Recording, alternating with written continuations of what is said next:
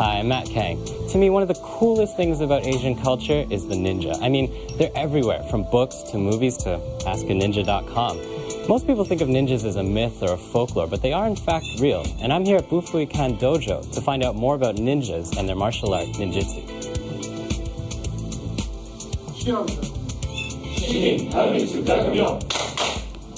So ninjutsu uh, was is basically a way of uh, self-defense, uh, protect the body, mind, and spirit. It was developed during times where people uh, needed uh, to find a way to defend their loved ones and themselves, and they were very limited in their tools. Uh, and, and from that, the concept of ninjutsu was developed.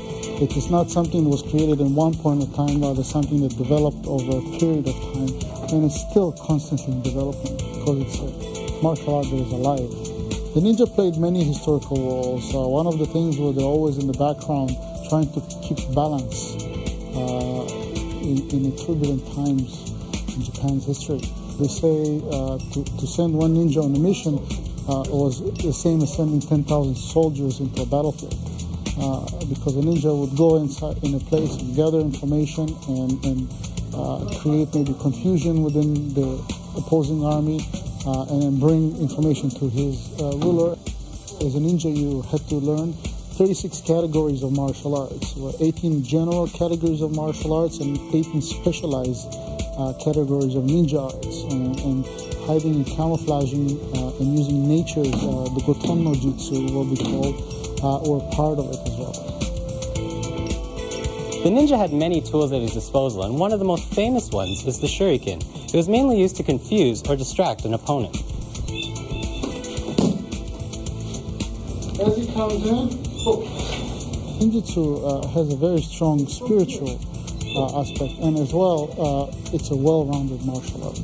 They have cover every aspect of training. Uh, one of the most important things to remember is that when you learn dangerous techniques like you saw tonight, is also learn the responsibility that comes with the skill.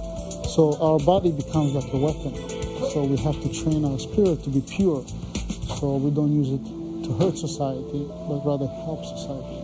Today, ninjutsu is much more popular in the world and much more widespread than it was before. Um, and we owe all this thank you to our grandmaster who was kind enough uh, in the late 60s uh, to open the doors to the world uh, and teach ninjutsu freely uh, without holding back because an art like ninjutsu and other Japanese martial arts were once kept very secret. If you'd like to know more about Bufuikan, you can visit their website at www.bufuikan.com. The school is located near Dufferin and Steeles in Vaughan. For Asian Inspiration, I'm Matt Kang.